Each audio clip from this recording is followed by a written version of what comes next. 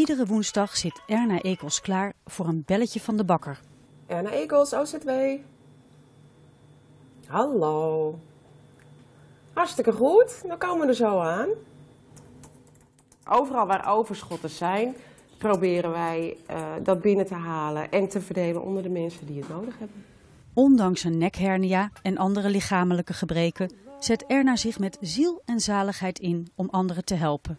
Het is echt uh, af en toe de verhalen die er zijn, die zijn gewoon schrijnend. Als je een, een, uh, een vrouw neemt met zeven kinderen, alleen, en je hebt niet veel om de maand door te komen.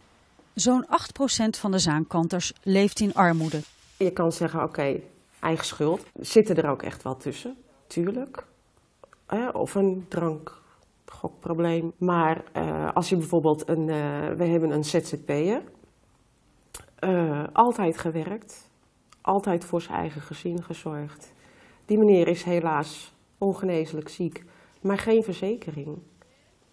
En dan kom je dus ook in zo'n situatie terecht. En je behangetje erbij? Ja, mijn behangetje. Ik kom ook kijken, hè, Staffies? Nagelak. Heb ik hier. Helemaal leuk. Helemaal leuk. Dankjewel. En druiven.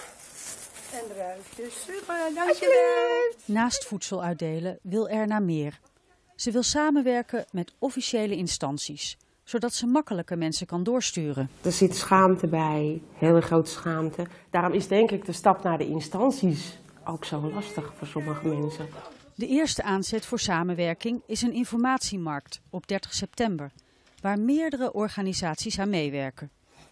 Goedenavond. Ja, nou, zeker. Goed gedaan, dames. Het is gewoon, het is gewoon geweldig om te doen.